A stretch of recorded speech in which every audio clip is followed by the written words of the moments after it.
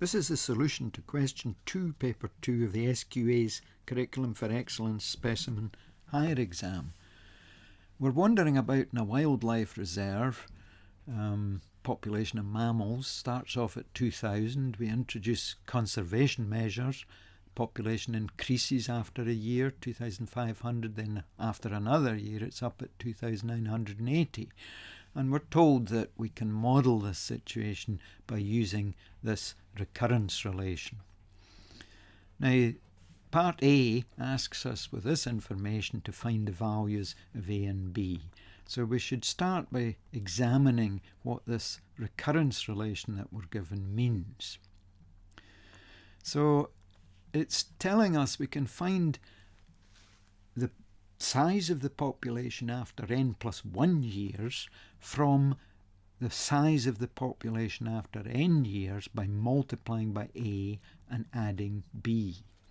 If we start with the population one particular year and then move on to the population size the next year, the method of doing that is multiplying by A and adding B. So in particular, the initial population, to get from it to the population next year, we proceed by multiplying by A and adding B. And we do that similarly to go from the population after one year to the population number after two years. Multiply by A and add B. That process goes all the way along the line of populations down the years.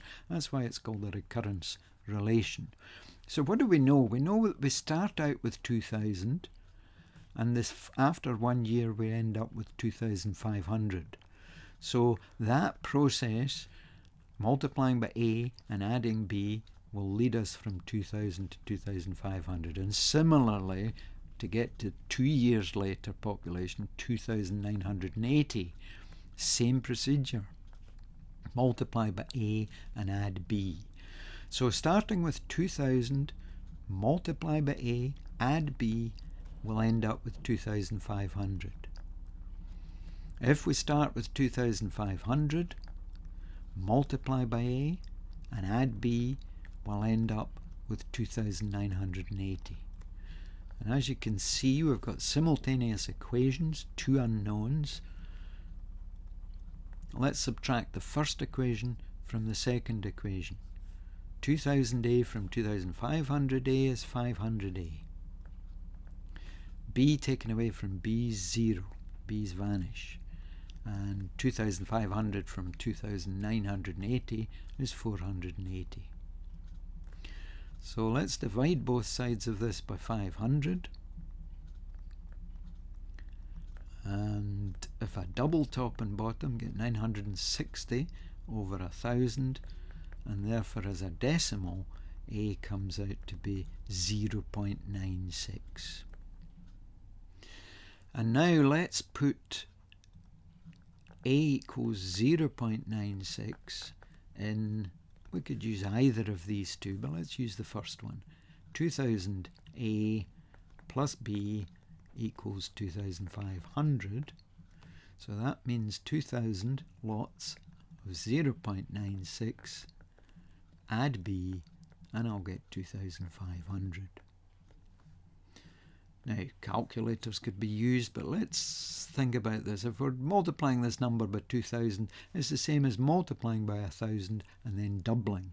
So multiplying that by 1000 gives us 960. If I double 960, I get 1920. So B will be 2500 minus 1920, which is 580. So there's our two values for these variables. Uh, let me put these up here, ready for the second part of the question. So A is 0.96 and B is 580.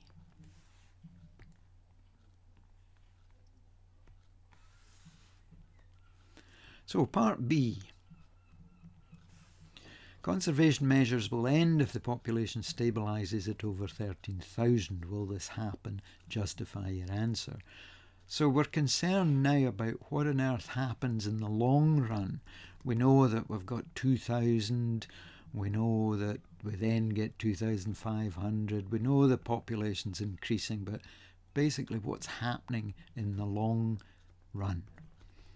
Does it stabilise? Is there a limit?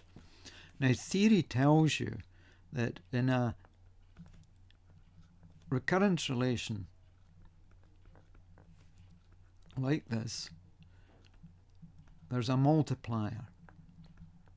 And it's the size of this multiplier that tells you whether there is a limit or not. If the multiplier is a fraction smaller than 1 or bigger than negative 1, it can be a negative uh, fraction also. Um, if it lies between negative 1 and 1, then ultimately this sequence of numbers will end up at some limit, some number that is constant. If we do the procedure, if we multiply by A and add B, in this case multiply by 0.96 and add 580, that number L will not change.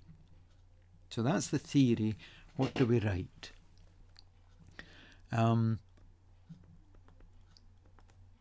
let's just write down the recurrence relation that we've discovered we're working with. And the observation that since the multiplier 0.96 lies between negative 1 and 1, there is a limit. A limit exists. Call this L. So we're at this stage where we know if you multiply L by 0.96 and add 580, you'll end up with exactly the same number. That's what a limit means, that the population in the wildlife reserve of mammals remains constant. So what we can say is that if we take this limit L, multiply it by 0.96, add 580, that's what we've always done, that's the recurrence relation that's involved. We do that procedure to L, we'll end up with L.